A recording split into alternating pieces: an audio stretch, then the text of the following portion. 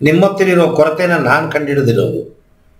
ನೀವು ಇಷ್ಟು ದಿನ ನನ್ನ ಹತ್ರ ಬಂದಿದ್ದರಲ್ಲಿ ಒಂದು ಎರಡನೇ ದಿವಸವೋ ಮೂರನೇ ದಿವಸವೋ ನಿಮ್ಮ ಹತ್ರ ಮಾತಾಡಿದೆ. ಆಮೇಲೆ ನೀವು ಮಾತಾಡೋದನ್ನೇ ಸ್ಟಾಪ್ ಮಾಡಿಬಿಟ್ರಿ ಅದರ ಮೊದಲು ನೀವು ಇಂಟ್ರ್ಯಾಕ್ಟ್ ಮಾಡ್ತಾ ಇದ್ದೀರಿ ನನ್ನ ಹತ್ರ. ಯಾಕೆಂದ್ರೆ ನಿಮ್ಮ ಬಗ್ಗೆ ನಾನು ಒಂದು ಮಾತಾಡಿದೆ. ಆ ಮಾತು ನಿಮ್ಮ ಮನಸ್ಸಿಗೆ ನೋವು ಮಾಡಿತು ಅಥವಾ ನಾವು ಯಾಕೆ ಮಾತಾಡಬೇಕು ಅಂತ ಹಾಗೆ ನೀವು ನಿಮ್ಮ ಮನಸ್ಸಲ್ಲಿ ಮಾತಾಡಿಕೊಂಡು ಬರೀ ಮಾತನ್ನು ಕೇಳೋ ಸ್ಪೆಕ್ಟೇಟರ್ ಆಗ್ಬಿಟ್ರಿ. ಏನು ನಿಮ್ಮಲ್ಲಿ ಕಂಡಿಡಿದೆ ಅಂದ್ರೆ ಬೇರೆಯವ್ರನ್ನ ಮಾತಾಡಕ್ ಬಿಡಲ್ಲ ನೀವು ನಂಬರ್ ಒನ್ ಯಾತಕ್ಕೆ ಅಂದ್ರೆ ನಿಮ್ಮ ಸಬ್ ಕಾನ್ಶಿಯಸ್ ಆಲ್ರೆಡಿ ವಿಚಾರಗಳು, ಇದು ಎರಡಿದೆ. ಒಂದು ಸಬ್ಜೆಕ್ಟ್ ಅನ್ನು ಶುರು ಮಾಡಿದ ತಕ್ಷಣ ನಾನು ಏನು ಹೇಳ್ತೀನಿ ಅಂತ ಕಂಡುಹಿಡಿಯೋ ತಾಕತ್ತು ಕೆಲವರಿಗಿರುತ್ತೆ ಅದು ನಿಮಗಿದೆ. ನನ್ನ ಮಾತಿನ ಛಾಳಿ. ಏನು ಹೇಳಬಹುದು ಇವರು? ಹಾಗೆ ಅಂತ ಪ್ರೀ ಪ್ರಿಡಿಕ್ಟ್ ಮಾಡುವ ತಾಕತ್ತು ನಿಮ್ಮಲ್ಲಿದೆ. ನಾನು ನನ್ನ ಮಾತನ್ನ ಮುಗಿಸೋದ್ರ ಒಳಗಡೆನೆ ನಾನು ಏನು ಹೇಳಕ್ಕೆ ಬಂದೆ ಕೇಳಕ್ಕೆ ಬಂದೆ, ಅದರ ಉತ್ತರವನ್ನ ನಾನು ಕಂಪ್ಲೀಟ್ ಮಾಡೋದ್ರ ಒಳಗಡೆ ಹೇಳ್ತಿರೋದು. ಇದು ನಾನು ಕಂಡುಹಿಡಿದಿದ್ದು ನಿಮ್ಮಲ್ಲಿ. ಅವಸರ. ಅವಸರವೇ ತೊದಲಿನ ಮೂಲ. ಅದನ್ನ ಹೇಳಕ್ ಬರ್ತೀನಿ ನಾನು. ನಿಮ್ಮಲ್ಲಿರೋ ಮೈನಸ್ ಪಾಯಿಂಟ್ ಏನು ಅಂದ್ರೆ ದುಡುಕ್ತೀರ? ಅವಸರ ಮಾಡ್ತೀರಾ? ಒಂದು ಲಾಕ್ ಮಾಡ್ಕೊಂಡು ಸುಮ್ಮನೆ ಈ ಥರ ಮೌನವಾಗಿರ್ತೀರಾ? ಒಂದು ಕ್ಯಾಟಗರಿ ಇನ್ನೊಂದು ಕ್ಯಾಟಗರಿ ನೀವು ತಗೊಳ್ಳೋ ಫ್ರೀಡಮ್ ಅನ್ನು ತಗೊಂಡು ಬೇರೆಯವ್ರಿಗೆ ಇಂಟ್ರಾಕ್ಟ್ ಮಾಡೋದಕ್ಕೆ ನೀವು ಅವಕಾಶ ಕೊಡೋದಿಲ್ಲ.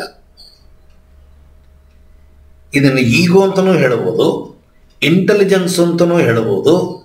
ಅಥವಾ ನಿಮ್ಮ ಮೆದುಳಿನ ಆ ಮೋಟಾರ್ ಸೆನ್ಸಾರ್ಸ್ ಮಾಡುವ ಕೆಲಸ ಸಿಕ್ಕಾಪಟ್ಟೆ ಸ್ಪೀಡಾಗಿ ಮಾಡುತ್ತೆ. ಇಂಗ್ಲೀಷಲ್ಲಿ ಎ ಡಿ ಹೆಚ್ ಡಿ ಅಂತೀವಿ ಎ ಡಿ ಟಿ ಡಿ ಅಂದರೆ ಮಕ್ಕಳಲ್ಲಿ ಬರುವುದು ತುಂಬ ಹೈಪರ್ ಆಕ್ಟಿವ್ ಅಂತಾರೆ. ಕೆಲವು ಮಕ್ಕಳು ತುಂಬ ಹೈಪರ್ ಆಕ್ಟಿವ್ ಇರ್ತಾರೆ. ನಾವು ಹೇಳೋ ಮಾತನ್ನು ಕೇಳೋದೇ ಇಲ್ಲ. ಅಡ್ವಾನ್ಸ್ ಆಗಿ ತಾನೇ ಎಲ್ಲ ಮಾಡುತ್ತೆ ಅದು. ನೀವು ಏನೇ ಮಾಡಿದ್ರು ಆ ಮಕ್ಕಳನ್ನು ಅಡಗಿಸಕ್ಕೆ ಸಾಧ್ಯವಿಲ್ಲ. ಹೈಪರ್ ಆಕ್ಟಿವ್ ಚಿಲ್ಡ್ರನ್ ಅಂತೀವಿ.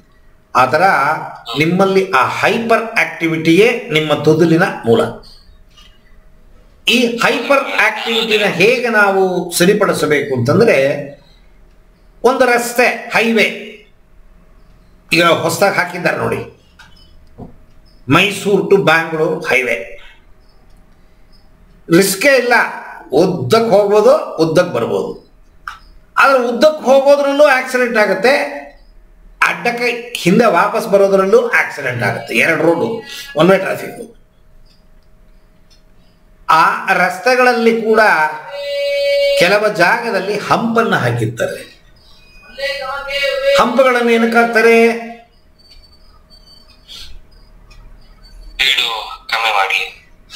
ಸ್ಪೀಡು ಬ್ರೇಕರ್ಸ್ ಅಂತ ಹೆಸರು ಅದಕ್ಕೆ.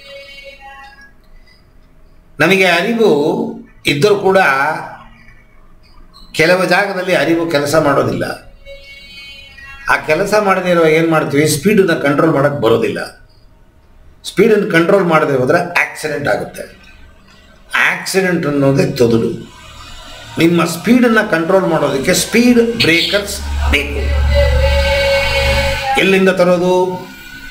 ಯಾವ ದೇಶದಲ್ಲಿ ಮಾಡ್ತಾರೆ ಸ್ಪೀಡ್ ಬ್ರೇಕರು ಎಲ್ಲಿ ಬಾಯಲ್ಲಿ ಹಾಕೋದಾ? ಗಂಟ್ಲಲ್ಲಿ ಹಾಕೋದಾ? ಧ್ವನಿಪೆಟ್ಟಿಗೆ ಒಳಗಡೆ ಹಾಕೋದ? ಅಥವಾ ನಾಲಿಗೆ ಅಲ್ಲಾಡತ್ತಲ್ಲ ಅಲ್ಲೇನಾದ್ರು ಸ್ಪೀಡ್ ಬ್ರೇಕ್ ಏನಾದ್ರು ಉಂಟಾ? ಈ ಎದೆ ಬಡತ, ಸರಿಯಾಗಿ ಎದೆ ರನ್ ಆಗೋದಕ್ಕೆ ಒಂದು ಮಿಷಿನ್ ಇದೆ ಪೇಸರ್ ಅಂತ. ಆ ಪೇಸರ್ನ ಒಳಗೆ ಹಾಕ್ಬಿಟ್ರೆ ಕರೆಕ್ಟಾಗಿ ಕೆಲಸ ಮಾಡುತ್ತೆ ಹೃದಯ. ಆ ರೀತಿ ತೊದಲು ಬರದೇ ಇರೋದಕ್ಕೆ ಯಾವ್ದಾದ್ರು ಮಿಷಿನ್ ಇತ್ತು ಅಂದರೆ ತಂದು ಬಾಯೊಳಗೆ ಗಂಟಲೊಳಗೆ ಎಲ್ಲ ಇಟ್ಕೋಬೋದು. ಇದು ಮಿಷಿನಿಂದ ಸರಿಪಡಿಸುವ ವಿಚಾರವಿಲ್ಲ ಇದು. ಇದು ಮನಸ್ಸಿಗೆ ಸಂಬಂಧಪಟ್ಟಿದ್ದು.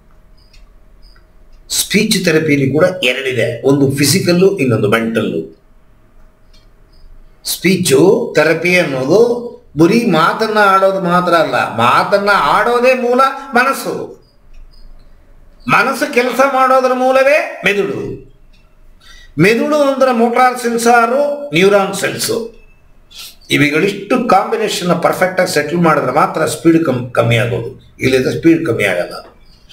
ಸ್ಪೀಡನ್ನು ಹೇಗೆ ಕಡಿಮೆ ಮಾಡೋದು?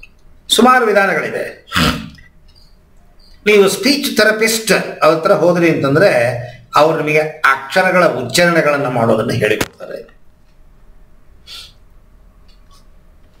ನಾನು ನಿಮಗೆ ಹೇಳ್ಕೊಡ್ತೀನಿ ಅದನ್ನ.